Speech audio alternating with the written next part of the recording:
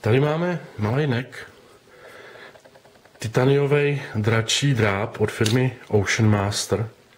Oni to titanium používají docela často, protože dělají potapický nože a nože k vodě.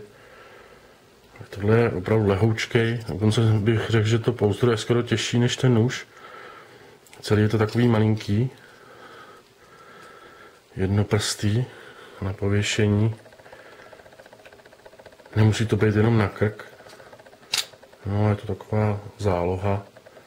Kdybyste se někde třeba zamotali do, rybářský, do zbytku rybářské sítě nebo na fiknutí nějakého parakordu pro vásku, rychlý prohříznutí nějaký tkaniny a tak dále.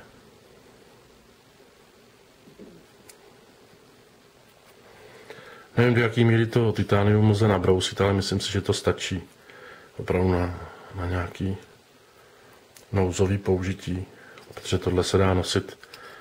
To je hmotnost několika mincí.